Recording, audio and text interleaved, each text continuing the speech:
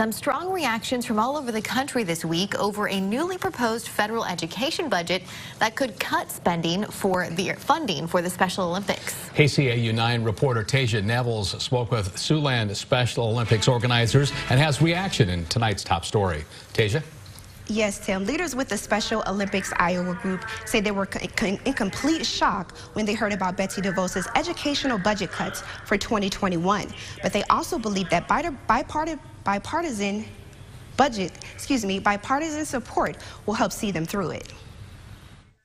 The 2021 education budget includes a proposal that would cut at least $7 billion from many federal educational programs and completely eliminate all $18 million of federal funding for the Special Olympics.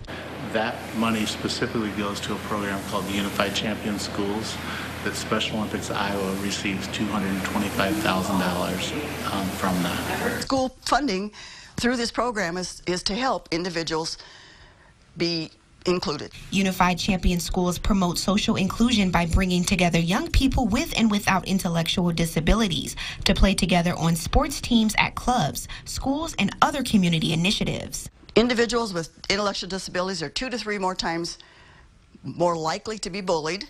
So individuals, as they're young and growing up, are learning, you know, everybody's different. We're just going to accept these people in. John Kliegel, president of Special Olympics Iowa, says he doesn't believe the budget will be approved. We have bipartisan support across the nation and specifically in Iowa. But if that support isn't able to stop the budget from being approved, Special Olympics Iowa says it will continue programs throughout Iowa no matter what lawmakers decide. If it doesn't get added back into the budget, which it has the last two years, then it will it will not stop Unified Champion schools, but it will slow the growth. It is not going to affect our traditional um, programming at Special Olympics Iowa. We're still going to provide services to all 99 counties. As of right now, the bill, excuse me, the uh, proposal does require approval from Congress. We will monitor this story and update you with any new information. In the newsroom, Tasia Nevels, KCAU 9 News.